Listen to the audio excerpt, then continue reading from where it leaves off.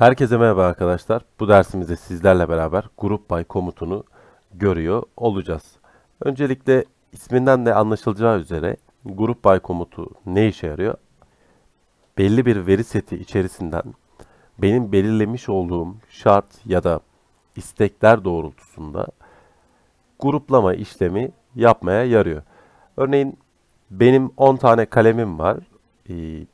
4 tanesi kırmızı, 5 tanesi yeşil, bir tanesi mavi ise ben bunu grupladığımda işte kırmızılar 3, maviler 4, işte yeşiller 1 şeklinde bunları gruplayabiliyorum değil mi? İşte aynısını SQL'de de group by komutu ile yapıyoruz. Hemen geliyorum. Select add diyorum.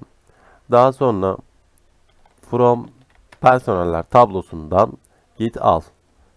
Daha sonra grup by dedim. Nedir? Ada göre sen bunları grupla.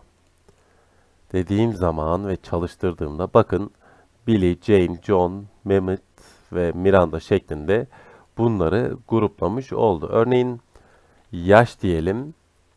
Yaşlarını alalım ve ada göre gruplayalım. Gene aynı sonucu elde ettim. Ben diyorum ki yaşa göre sen bunları grupla. Adı al, yaşı al, bir de soyadı al. Git dediğimde bakın adı, soyadı ve yaşı e, adı, yaşı ve soyadını benim için gruplamış oldu. Yani Miranda'lardan e, yaşı 10 olan Miranda varmış, 18 olan Miranda, 20 olan Miranda varmış, 26 olan varmış vesaire şeklinde. Ama burada dikkat ettiyseniz bir eksik, eksiklik var değil mi? Ben tamam görüyorum ama e, benim bunun örneğin count'una ihtiyacım var. Yani yaşı 20 olan 10 Miranda var ama kaç tane Miranda var ben bunu bilmiyorum. Ben bunun count'unu al dediğim zaman bakın hatta şöyle de yapalım ya da şöyle kalsın. Ee, görmüş olduğunuz gibi bir de şuraya da bir yaşı alırsak eğer şu şekilde evet Yaşı 10 olan bir tane Miranda varmış. 18 olan bir taneymiş. 20 olan bir taneymiş. 26 olan 8 tane John varmış. 30 olan bir tane Miranda. 33 olan 8 tane Jane isimli kişi varmış. 55 olan 9 tane Billy isimli ve 77 tane de Miranda olan pardon özür diliyorum. 3 tane de yaşı 77 olan e, Miranda varmış. Bir de gelin şöyle mesela diyelim ki ne diyelim soyadlarına göre gruplayalım.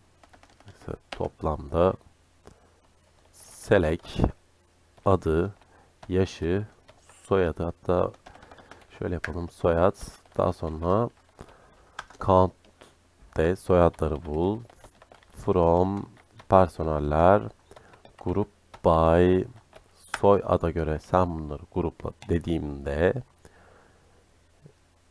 bakın toplamda 8 tane J soy isimli varmış. Varsayılan soyada sahip bir kişi varmış. 8 tane X, 8 tane Y ve 8 tane Z soy ismine sahip kullanıcımız mevcutmuş. Bunu da grup by yöntemi ile bulabiliyoruz. Tabi grup by kullanırken aynı şekilde e, Word şartını da kullanabiliyoruz. Word derim.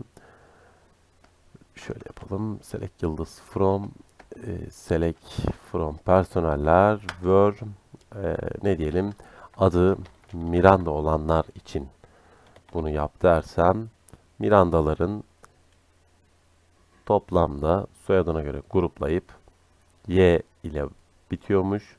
8 tane varmış. Örneğin ben şuradan Miranda'lardan bir tanesinin soy ismini değiştireyim.